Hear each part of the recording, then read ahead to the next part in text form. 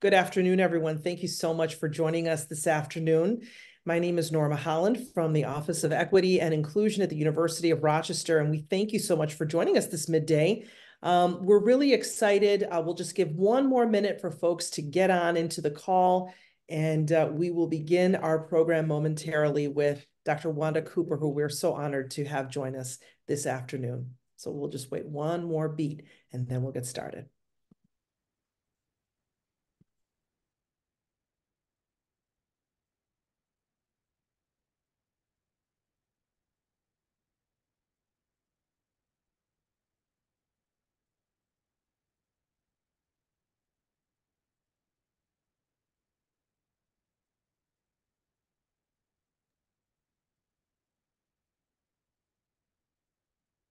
All right, let's get started then, and we'll we'll uh, give uh, Dr. Cooper as much time as we can. We so appreciate her being here today. Uh, today we have a um, our second speaker in our 21 day equity challenge uh, that we have been having now daily challenge. Many of you have signed up to receive those emails, and we're so excited and we appreciate that. Um, as part of our 21 Day Equity Challenge, we offer these Friday lectures. And today we're going to be talking about burnout um, and how to invest in your wellness. Um, and today we have invited Dr. Wanda Cooper, a workplace consultant, owner of Cooper Productions LLC, a consulting company dedicated to helping organizations with executive coaching, strategic planning, employee wellness and retention. Um, and then framing their story of impact to enhance their funding opportunities. Storytelling is so very important to organizations. Um, but so is being able to be resilient and stay the course. Um, many of you who work in diversity, equity, and inclusion know how stressful this job can be, but maybe you just have a very stressful job in general, no matter where uh, you work. Um, so how do we build uh, that resilience and prevent the burnout? Dr. Wanda Cooper is here. We thank her so much for her time uh, and her talent and sharing it with us this afternoon. So we're going to go ahead and let you get started. One thing we will let you all know uh, the presentation does take up quite a bit of time. So if you would like to ask Dr. Cooper a question, we will put her email in the chat and you can email her your questions and she will respond to them. And we are, again, very grateful for that uh, as well. Dr. Cooper, welcome. Hola, everyone. Thank you for your time. Um, and, and also thank you for your commitment to to invest in your wellness. It's good to see familiar faces. Uh, uh, it's great to see as you're all coming in some very familiar faces. So um, I'm honored to share this space with you today, and um, we're going to get right into it. So um, I have I've worked just as a quick introduction of my background. I've worked in the nonprofit uh, sector for over 25 years and recently made the transition to higher education I am passionate about creating work environments that promote and prioritize employee wellness.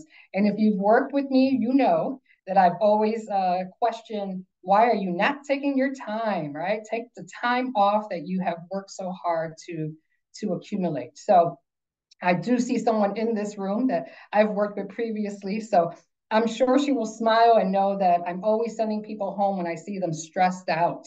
Um, so uh, I conducted local research on the perceived factors of workplace burnout and mitigation strategies from the lens of frontline employees as part of my doctoral studies. So now I conduct workshops and presentations on ways to invest in your wellness. And I also consult leaders on seeking ways to create organizational cultures that values and promotes employee wellness.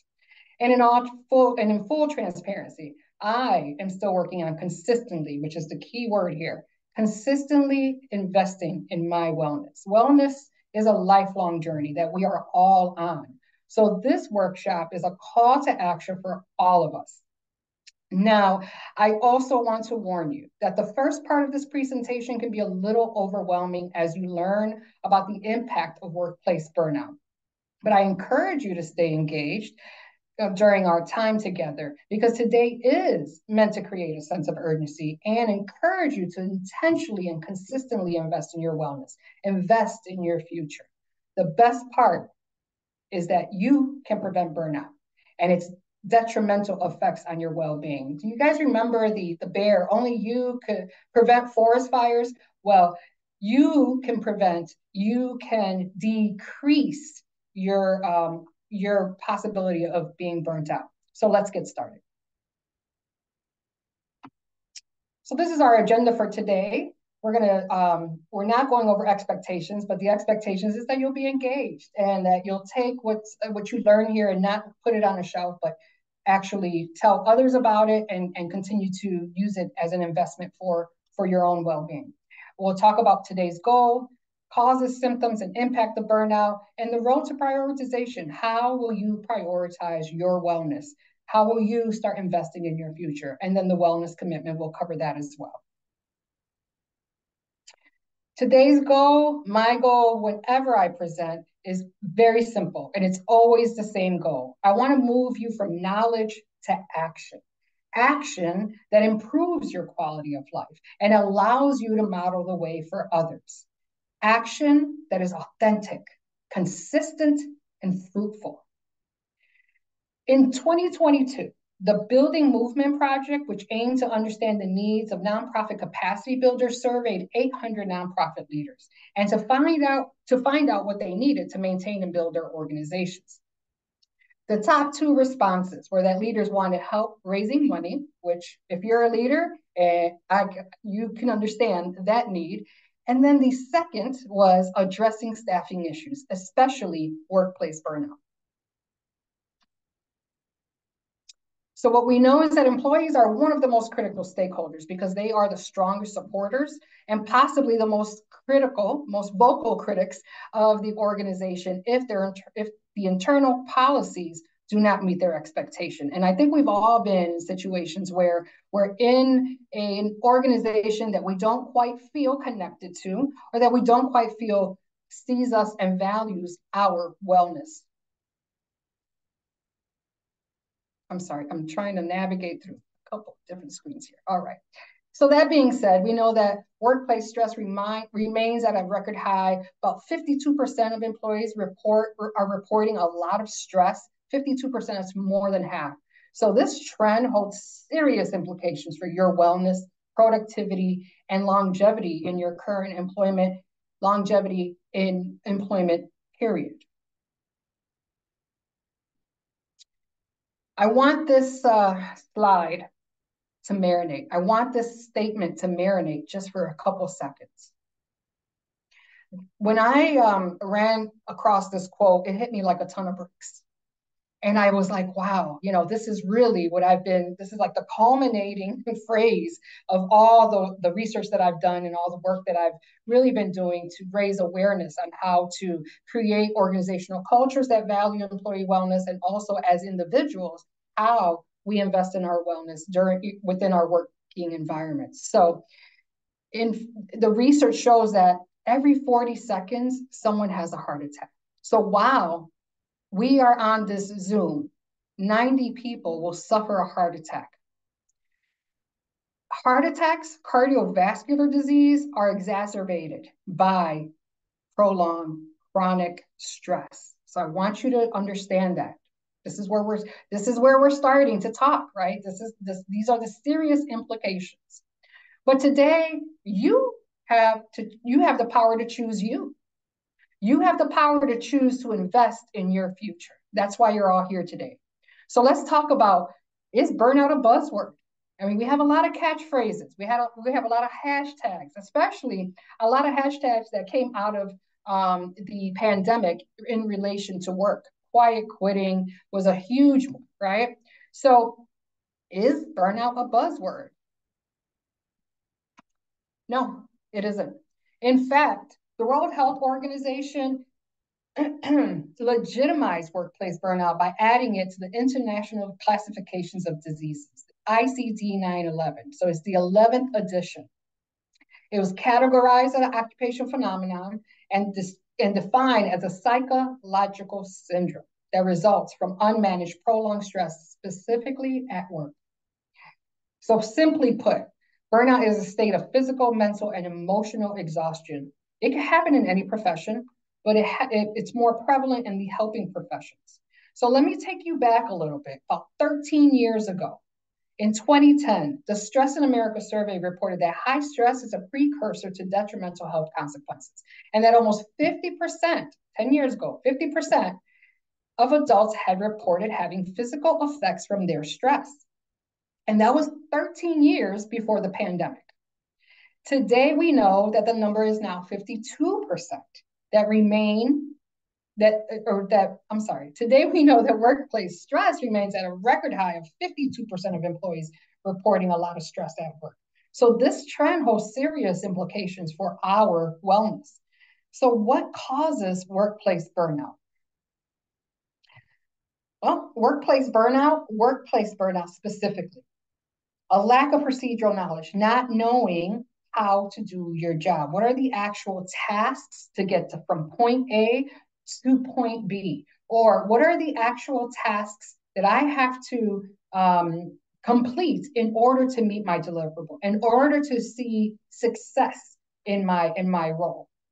Resources and, and accessibility. Resources you'd be surprised how many times people um, start their their employment, new employment, and they don't have all the resources that they need. They don't have all the supplies that they need. Sometimes they don't have a computer. Oh, that's on order. It'll be here in two weeks. Or sometimes they don't have proper um, office supplies. Sometimes the desk has been around probably long, just as long as the building has been around, right? So um, the desk could be very, very old, not functioning. It, it, it could just not be uh, a good, it cannot be conducive to getting the work done. Paper clips, phone, I mean, you name it, every little thing, every little thing that you need to do your job has to be supplied for you and you have to have access to it, know how to access it. Where do I get the paper clips? How do I refill the paper to for the copier machine? I know these things sound very simplistic, but imagine going to work every day and wondering, how am I going to get my work done because I don't have the supplies or the resources to do it? Accessibility is also um, when we speak about our leaders. Is your leader accessible? When you're having a barrier, you're encountering, encountering a challenge, who do you turn to? Do you know what the process is? So it's it's so accessibility really is one of also the key drivers because when you encounter a barrier and you do not have the resources or you don't have um, your supervisor accessible to you or you do not know who to turn to, you're really stumped. People spend a lot of time frustrated. People spend a lot of time with high anxiety because they just don't have the simple um, supplies. They don't know who to turn to when they have a supply or a barrier challenge. So I would really encourage you when you start and when you start your employment or even now at your current employment to really understand how do you mitigate these in your at your organization unplug time away how many people are working through lunch sitting at their desk working through lunch because they just have to get it done that's not good right so unplugged time away is taking those breaks away from your computer, away from your main work area. You should go to the break room. There should be a place for you to go away to um, be away from your main working area. It helps your brain adjust and it tells your brain it's time for rest. It's time to stop working. It's time to rest and recharge. So definitely unplug time away. Take your breaks, take your lunches. And then control and autonomy. We know that if you're not in a leadership position, you may have very little autonomy and control over the structures, the policies of your of your role as well as your um, organization. So as leaders, we need to understand how do we incorporate these um, transparent bi-directional communication processes so that we can understand what our employees need and we can really work with them to start mitigating some of these issues. And as I stated um, with the World Health Organization, unaddressed chronic stress is a big component. If you are stressed every day at work for eight hours a day, 40 hours a week, sometimes 50 and 60, depending on how long you're working, think about what that is doing to your body, your main organs, your brain, your heart your lungs, your gut, your liver, your kidneys, all these main organs that are constantly working to get you to your optimal level, right? To keep you alive, to keep you going every day. And then unreasonable demands. Um, if you are hired for a 40 hour job and it's really 60 hours worth of work, Those are unreasonable demands. So that's that's a workload equity issue. Okay, so these are the factors or these are the causes of burnout. The symptoms of burnout are physical and psychological. Cardiovascular disease is, is, is a big one. And I just told you that in our time together, 90 people will experience a heart attack. That's so, that, that always hits home when I say it. 90 people in the next hour will experience a heart attack. Respiratory issues, sleep disturbances. Imagine being so stressed out. You can't sleep. Your brain cannot shut off, right? And then extreme fatigue. Now, my concern about the extreme fatigue is that there's a ripple effect. So you're exhausted at work, you get home. What do you think is going to happen when you get home? More than likely, you're going to be disconnected from your household um, unit, right? So let's say you have kids, let's say you have a partner, you go home, you're so exhausted, you can't even connect with them. You're not physically, mentally there. So they so there are ripple effects to workplace burnout. It will affect your network because you will not be able to be fully engaged in that network. Psychological symptoms are anxiety, depression, low self-esteem, and believe it or not, PTSD. Imagine, even if you think about um, our armed forces, right? Uh, they're under chronic stress, and a lot of them come home with PTSD, and that is a result of unmanaged chronic stress. So I'm here to tell you that workplace burnout can also cause PTSD. The impact of burnout, it's a livelihood impact. As you can see from this slide, unaddressed stress impacts the quality of your life.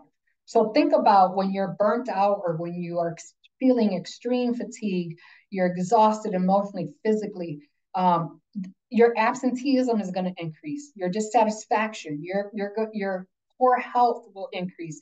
There's even violence in the workplace that can take place uh, when someone is experiencing burnout, and we'll talk about that a little bit later on in the in the um, presentation. And then financial hardships. If you're not going to work, it's going to impact your financial, um, it's going to impact your financial, financial wealth.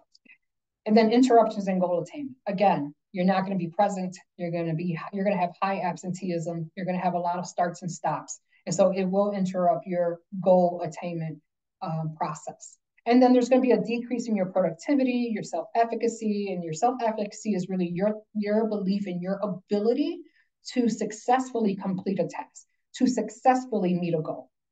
And then your problem solving is probably going to decrease as well. Earnings over your lifetime, again, financial hardships. You're probably going to go through numerous employers. You're probably going to um, also see that increase in absenteeism and that decrease in earning over your lifetime and promotional opportunities. If you're calling in sick, if you're seen as disengaged, you're probably not going to be the one that they call when there's an opportunity um, or a promotional opportunity. So research shows that even if stress that we're experiencing does not produce burnout, it's still highly toxic to our health because it increases the chance for long-term illnesses. Furthermore, MRI scans and psychological measurements concluded that the neural circuits in your brain are altered when people experience burnout, which causes an inability to control negative emotions. So there it is. When you're burnt out, you cannot control your negative emotions. So you may have an outburst at work, right? You may even have a physical reaction. And when I was talking about violence, that violence could be in it could be you. It could be you damaging um, the copier at work that never works, right? How many of us have pounded on the copier? Oh, you just have to hit it a couple times and then it starts working. How many of us have pounded on the printer out of frustration, right? And so burnout is proven to cause an inability to control your negative emotions. And studies also show that there is a correlation between burnout and physical changes to the amygdala and cortical thinning, leading to decreased fine motor functions. So not only is are the neural circuits in your brain being altered, but also physical changes to your amygdala and, and there's cortical thinning of the brain is also leading to decreased fine motor, fine motor functions. And so when I talked about violence in the workplace, it's, it's also important to understand that bullying exists in the workplace. And it also has significant implications. Studies show that employees are being exposed to verbal and physical abuse in the workplace. And I will also say for people of color, our Black and Brown people are experiencing violence through macro and micro aggressions. And I know that I believe day three, um, the 21 day equity challenge sent out a lot of information about microaggressions. So I want you to be very conscious of bullying is not just someone being overtly violent, overtly um, verbally abusive, but it's also those those those um, microaggressions that you're sitting there going, did she just say? Did he just? And then we internalize those feelings. And because microaggressions are not necessarily tangible, where you can point it out, and it's still, uh, I would say, vague in the workplace when we're we're acknowledging it. This is something to really pay attention to. And with 45% of employees experiencing bullying in the workplace, we must be advocates. No, let me rephrase that. We must demand safe working environments, especially because the research shows that bullying can cause higher risk of cardiovascular disease. I just told you about, you know, every every 40 seconds someone has a heart attack. That is cardiovascular disease at its finest, right? And so we need to make sure we need to make sure that we are arming ourselves with data, with advocacy, and demanding safe physical and psychological work environments. So, how do we combat burnout? Everyone has their reason for being here today.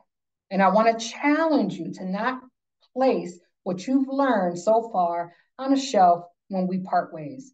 If you're a leader, a mentor, an advocate, a parent, a daughter, a sister.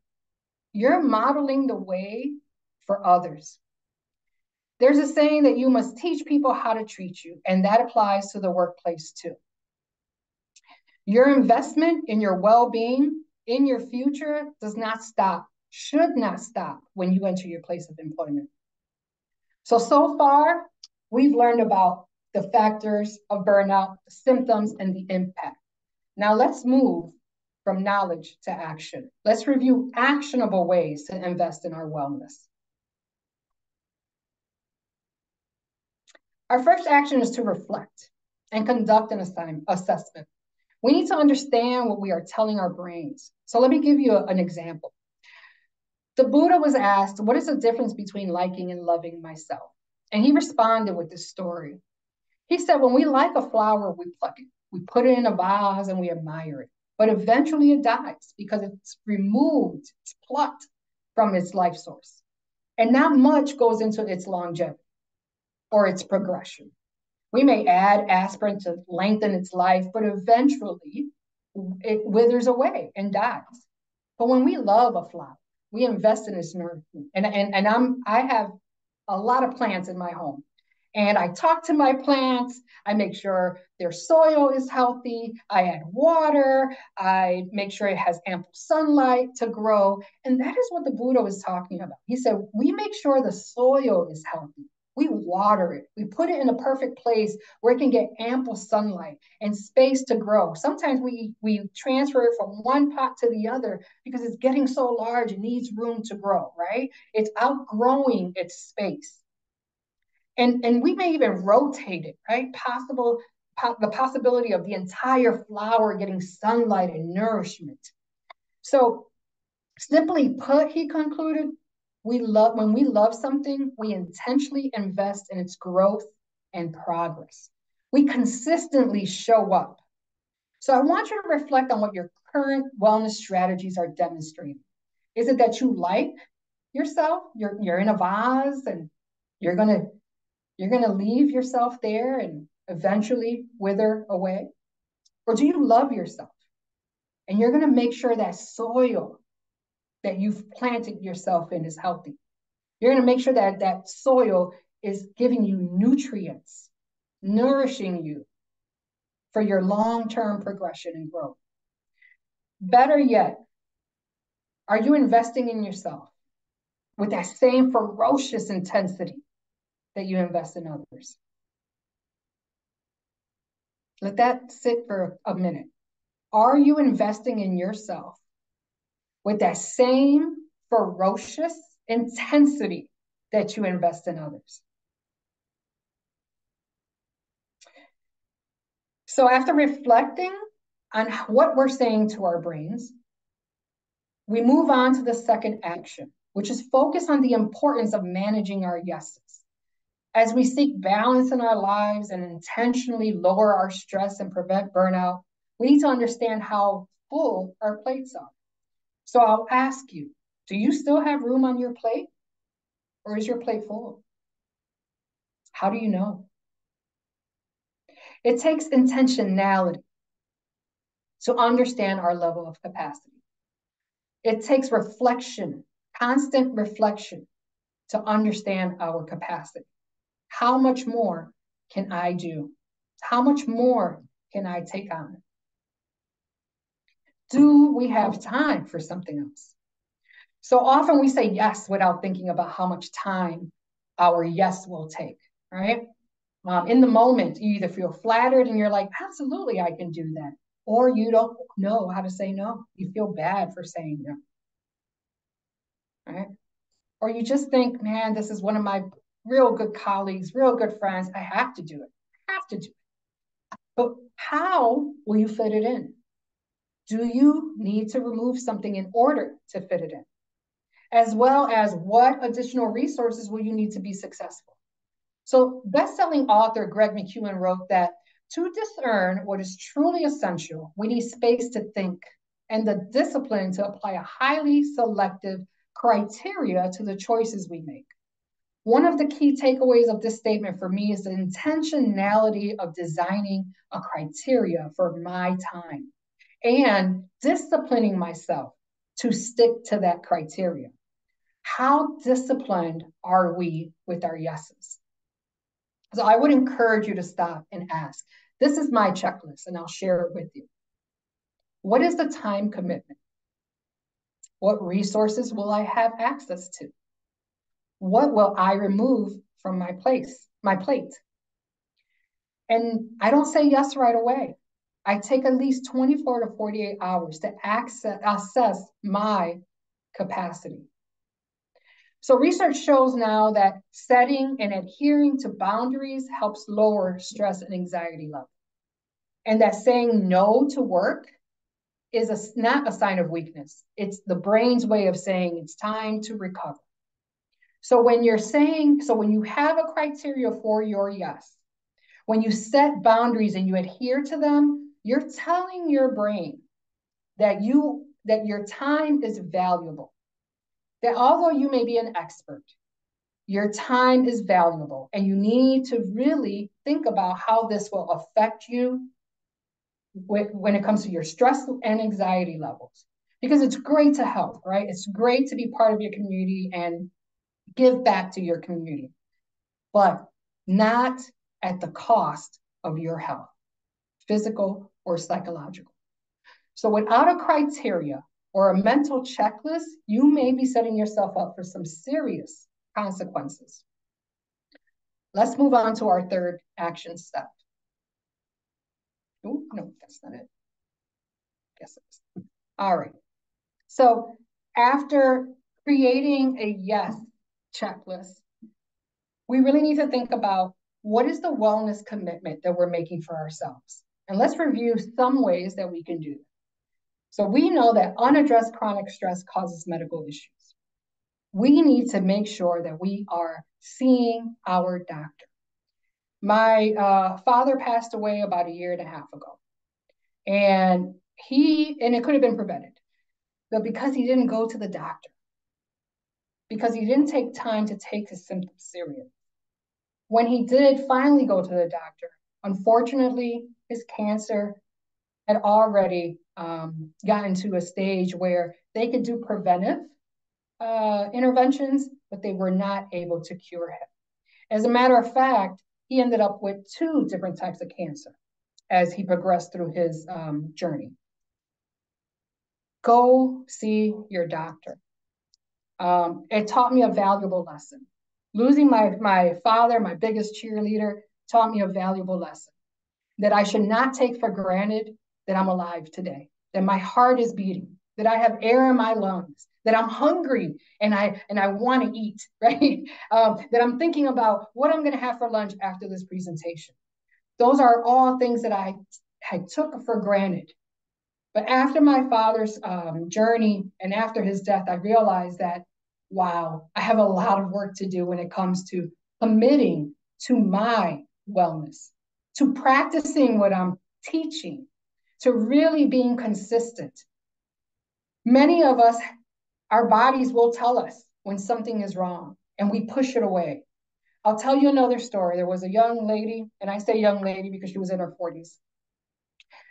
And that's young to me. Um, I'm 51, so 40 is ooh, very young. but my um, so this young lady uh, was experiencing abdominal discomfort. And she was experiencing this discomfort probably for about three, four days. And she kept saying, Oh, ah, not feeling well, but just, ah, it's nothing, it's nothing. Well, she ended up having a heart attack. And she did not recover from that heart attack at 40 because she didn't listen to her body, because she put work before listening to her body, because she could not see herself taking time off of work to go check out, to go to the doctor to find out what was happening with her. See, she put work before her own wellness. And what we all know is that although you're valuable to your job, and I'm not saying your organization doesn't care about you, but what we all know is that if you pass away today, your job will be posted and your replacement will be sought. So I tell you, put your wellness before your job. See your doctor when your body is telling you that something is not right. Never hesitate to seek professional support when you're fe- when you're not feeling your best. So it's either a medical doctor, a therapist, a faith leader, and oh, by the way, employee assistance program that all employers have and that is the most underutilized uh, the most underutilized resource. A lot of us have trust issues and many of them are warranted. But I will tell you that employee the employee assistance program is highly confidential. And I encourage you to seek out this free resource from your employer, from your organization. They will help you also find resources in the community. So it is a, a, a, great opportunity for you to understand what resources are out for you are out there for you so that you can address the ailments that you may be experiencing. Strive to drink 72 ounces of water. Water is your best friend. Um, it used to be eight ounces, eight cups, eight ounces a day. Well, now they upped it to nine cups, eight ounces a day. And I'll tell you, when I have felt my uh, the most, when I have been at the height of my stress and I have downed an ice cold glass of water, it has helped me reset myself. So I encourage you to utilize water as some of one of your coping mechanisms. Water will help you hydrate your body, but it'll also help you hydrate your brain. I'm a coffee drinker. And I was shocked to hear that one cup of coffee in the morning will take five cups of water to um, hydrate you from that one cup of coffee. So if you're a, if you're a coffee drinker, if you drink caffeine in the morning, whether it's coffee or soda, whatever caffeine you consume in, in throughout the day, just know that you will have to drink a lot of water to combat that, right? To keep yourself hydrated, keep your organs hydrated, keep your brain hydrated. So when so do not you do not look at the number three step like really Wanda drink water absolutely absolutely drink water. Now the fourth one I always get pushback from. Aim to dedicate 30 minutes three times a day towards your health and well-being.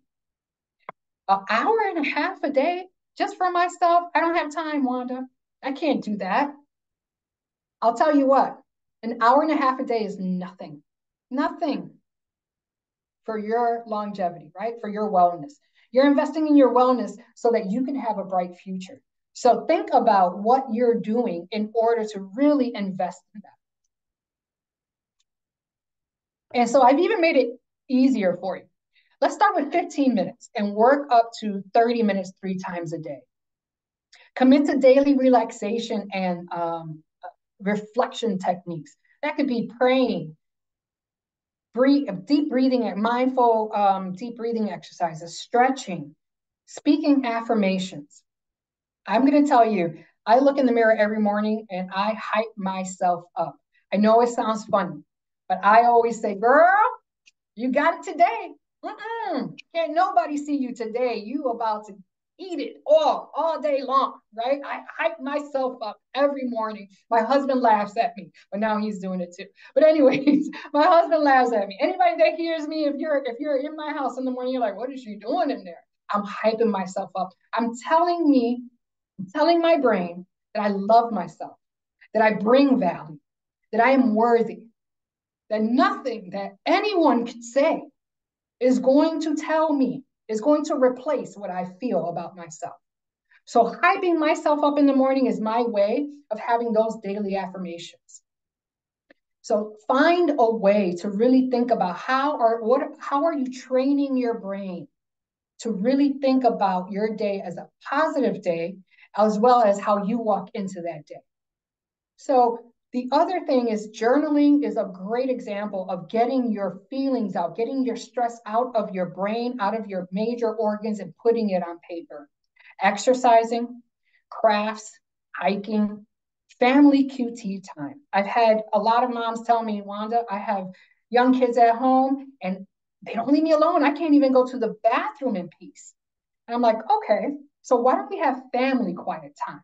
We can be models for our for our networks and really model the way for them to start investing in their wellness. So if we have family wellness time every night, that means everyone is taking 20, 30 minutes to do what they what makes them feel good. It could be reading a book, it could be drawing, it could be listening to slow jazz music.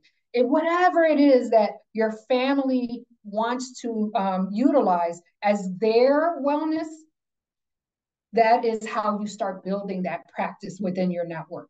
And that, and trust me when I tell you, that will also ripple to their networks. When um, my granddaughter was two years old, uh, she was crying one day, and my daughter was like, You need some alone time. She took her and she put her in her room. I couldn't believe it. I was like, wow, can you do that to the baby? Why?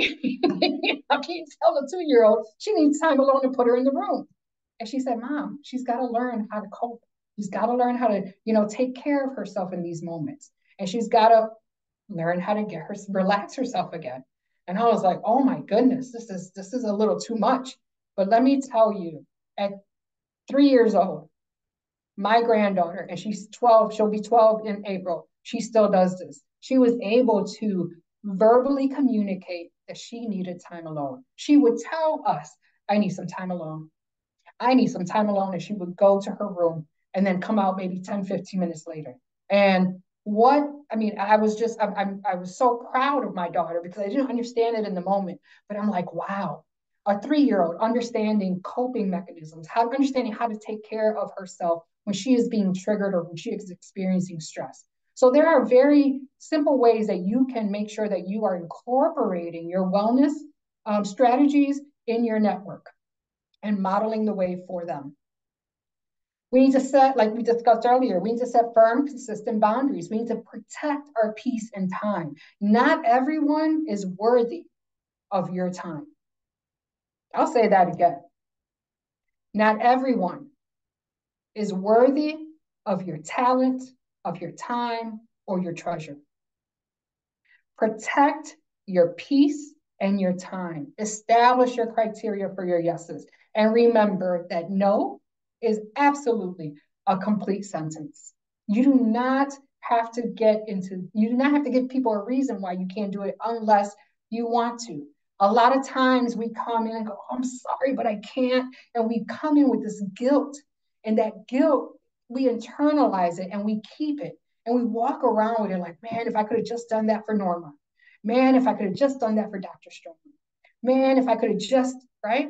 But we internalize that feeling and we keep it right in all of our internal organs.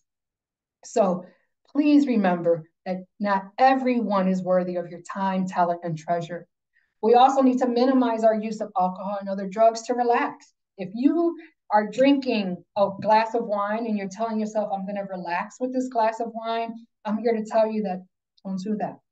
Don't tell your brain that you need a stimulant to relax. Everything that we do is a message to our brain. Everything that we say is a message to our brain.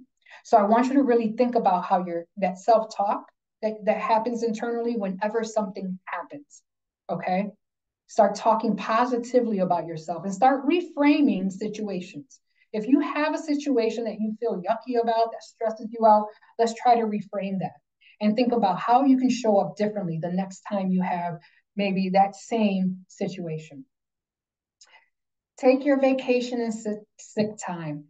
Ooh. I know many people that have 100 or more hours of personal time off.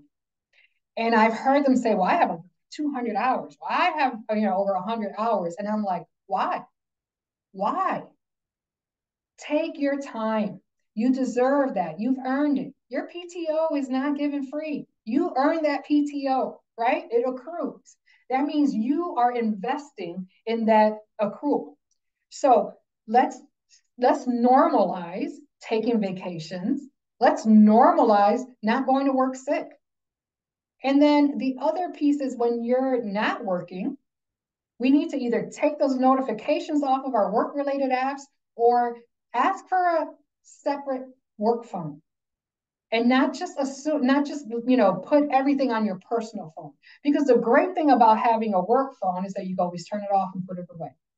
If for some reason you need to put it on your personal phone i would always adjust those notifications okay remember you want unplugged time away and if you are not do not minimizing those notifications then you absolutely will continue your break, then you're not unplugging yourself, even if you're on vacation. And I tell you, for a long time, even on vacation, I checked my work email, I responded to work emails.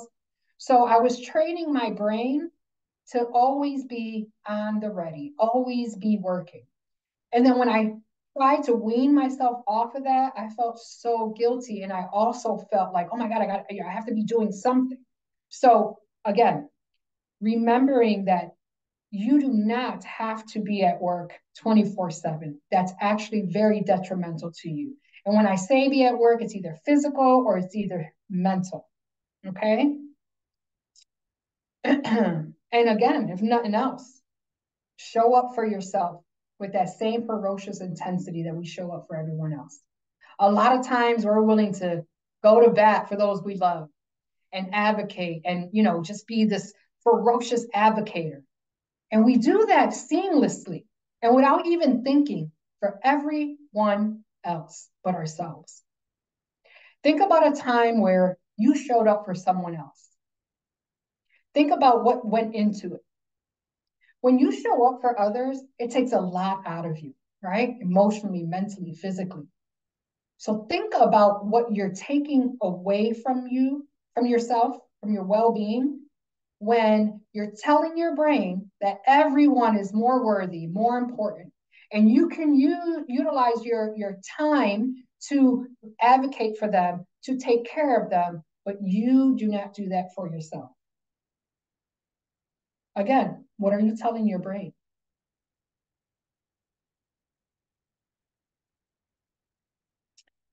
Our fourth action, and this is the last action, it's hard to muster up, right? A positive outlook, which fuels our motivation and well being.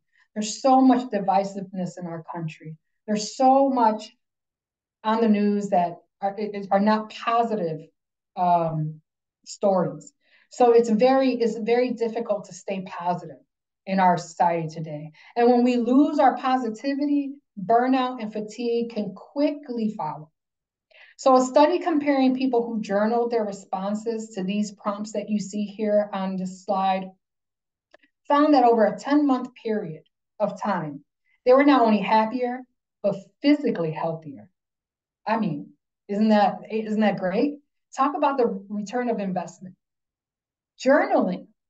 These the top three, the, the last one I added, and I'll tell you why, but journaling these top three questions every day can make you happier and physically healthier. That's a guarantee. The research shows it. The studies show it time and time again. You can literally inject positivity and optimism into your day with this five minute exercise. So each morning, these questions, the I will focus on helps you carve out some of the will do's out of the endless could or should do's. The I am grateful for helps you reflect on your blessings versus your troubles. And I will tell you that when you can go back and look at your journaling and look at all of the gratitude that you've journaled, it is a boost of positive energy.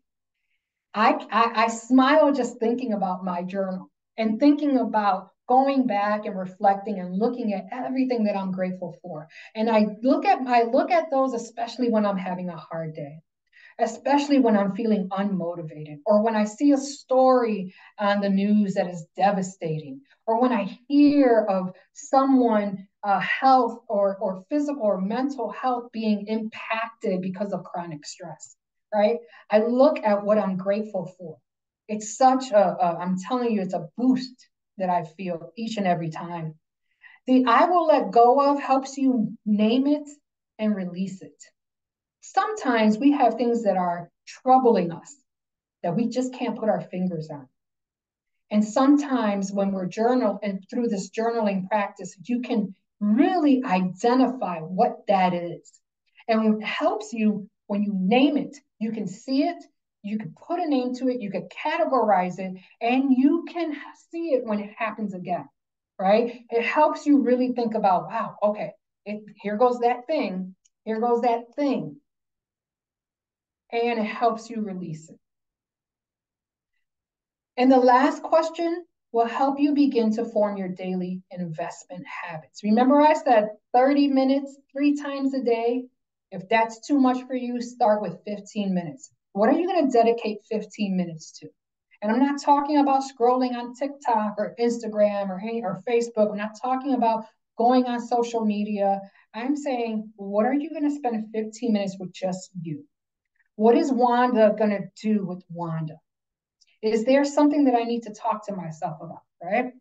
Is there an affirmation that is not working for me? I don't necessarily believe, but I say it every morning. In time of reflection, in these 15 minutes, while you reflect, you can learn so much about yourself. When you intentionally invest, there's a that reflection period. It's oh, it's just a wonderful thing. And you can learn so much about yourself. You can learn where you're having difficulty naming and releasing it. You can learn where you're having difficulty really seeing, you know, those blessings and being grateful. And you could also learn how you're carving out your time, your time management. What are what am I spending my time on? I um while I was doing my doctoral research, I, I did a, a mini experiment on myself and I literally wrote down what I did throughout a week. And um, I spend more time helping others and um, being present at, at, at my employers and my employer than I did being present at home, being present for Wanda, and investing in Wanda's wellness. So what I was role modeling for those that I care about, those I mentor and those I lead was that I was not worthy enough or I did not see worth in my wellness. I was constantly going, going, going. And I had to really say, wow, I'm being a hypocrite. I'm telling everybody to take care of themselves, but I'm not doing it. So I had to really sit with that. And I had to really tell myself, okay, what am I doing here? So it helped me really start carving out time for myself. It helped me learn what I'm grateful for. It helped me let go of some of those insecurities as well as the internalized um, effects of microaggressions. And it really helped me design a plan on how I was going to invest on myself in myself and my wellness daily. So that consistent daily investment. Ultimately, we're only awake for an average of 1,000 minutes a day. And that sounds like a lot, but 1,000 minutes, it's really not a lot. If we can invest five minutes of optimism every morning, that means we take control of the remaining 995 minutes. So I'd rather carve out five minutes to inject optimism into my morning so that I can control, so that I can continue to invest and enjoy those 995 minutes of the day. So it's time to really stop running on fumes. Remember, you cannot give what you don't have. You're kidding, you're, you're, you're tricking yourself to saying, oh, I am just killing it. I'm investing in everybody, I'm mentoring, I'm leading, I'm doing all these wonderful things. But you might be doing them on fumes. So, what are you really investing? What are you really modeling?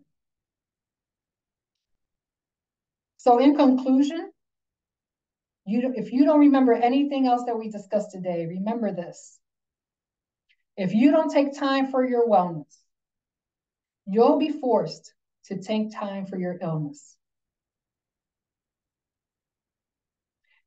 Thank you for your time and engagement today. My hope for you is that today is the beginning of your consistent investment towards your wellness and your future. God bless you.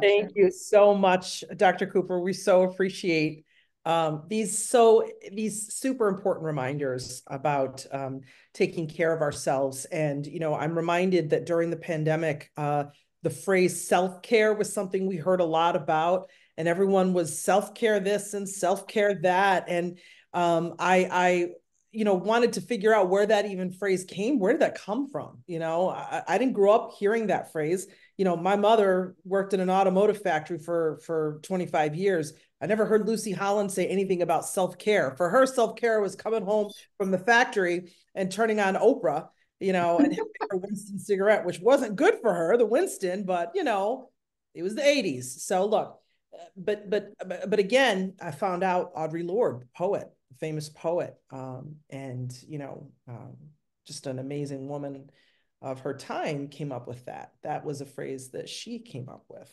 so yeah. um, but thank you and i know that we've got and i wanted to and emily if you could share um, dr cooper's email in the chat uh, for all uh, for everyone in the meeting to um, to reach out to you with any sort of question maybe i could ask you a question though um, you know, we feel a lot of guilt about taking the time.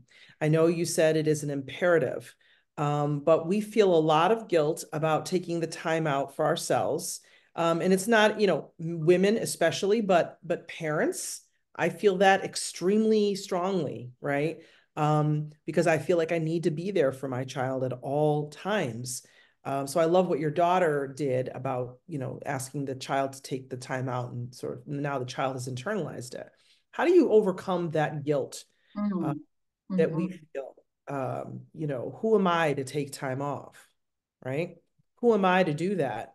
Uh, and what if I don't have something that, you know, I want to do necessarily? What if I just want to sit in silence? that feels so selfish, you know? Yeah, so society has has uh, trained us, right, to to have that very um, that that feeling of I'm being selfish. Mm-hmm. Uh, I should be doing something for others. And yes, there's a time for that. But the reality is that when you look at the data, when you look at the studies, when you look at what burnout does or what stress does to your major organs, you cannot afford not to take time for yourself. Sure.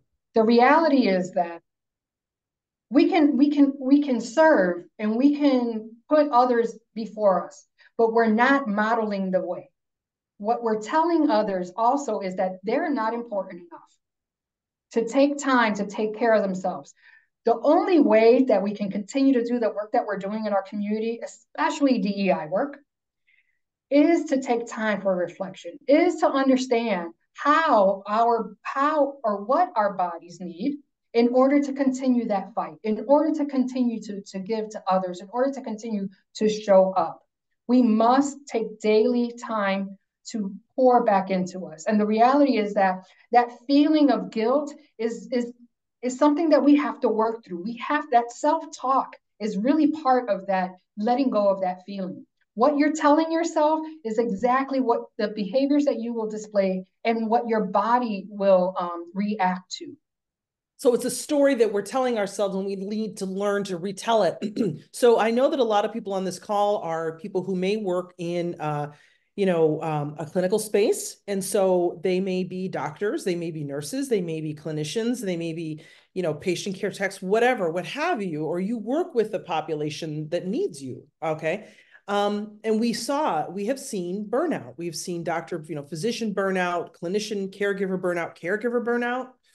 Ooh, caring for someone at home, maybe with a, uh, you know, a, a, a long-term illness, yeah. Alzheimer's disease, you know, look, that takes a lot out of you. So yeah. for them, the the the time away and the and the self-care and the caring for oneself is not just about um taking care of yourself but if you're not then you're not there for the other people. Uh, some people though feel that the the need to to do so may even hold them back. Like what if i i need to keep going or i'm not going to move in my career? I got to keep going i got to keep going. If i don't i'm never going to write that paper. I'm never going to get recognized or i'm never going to you know yeah, you may not get recognized because you'll be, you know, dead. Yeah. I mean, that's the reality. I, I hate to be so blunt, but this is critical information. Sure. And we've had, we saw in the pandemic that there were a lot, that there were um, helping professions where people were committing suicide. Yeah. Right? Because they could not hold on, they just couldn't carry that burden of the trauma that they were going through and the trauma that they were exposed to. Sure. So it is critical that we find ways to really reflect daily and to bring ourselves down from that 10. So let's think about the continuum. Number, you know, uh, on the on the sliding scale of 1 to 10, 1 is that you are good to go. You're even keel. And then number 10 is that you're highly stressed. When you stay at a 10, your body is working 10 times harder, right? And your brain is constantly going. That's not good for your body. That's not good for your um for your wellness. So the reality is that you may feel guilty about it, but it's either invest in the front end or be forced to take care of yourself in the back end. I always my father's a salesman and he always says to me, "Honey, uh nothing's for free." Amen to that. Amen to that. Nothing's for free, honey. Yes. We all pay. We all pay. So Dr. Cooper, thank you so much. I want to thank you for being here to our, our, our visitors, our guests, our participants today. Thank you so much. Don't forget, you can email Dr. Cooper at Cooper Productions with a Z on the end at gmail.com. Uh, she um, is in our community. She's been a long-time servant, and we're so grateful for your time and your talent and sharing your treasure with us. Um, I want to invite you. Uh, next week, we have another wonderful speaker. If you go to urmccelebrates.com, you'll find out more there. And uh, later on today, we'll have video links of all of our presentations on there. So you can watch them if you missed the first one or uh, you want someone to watch today's presentation, you can check it out there. And don't forget to sign up for our final Friday speaker next Friday, Talithia Best from YMCA. Thank you so much. Have a wonderful afternoon and a fantastic weekend. I'm going to go do some resting right now, Dr. That's Cooper. right. Take care, everyone. Have a great right. Super Bowl weekend. That's right. Awesome. Woohoo. Bye.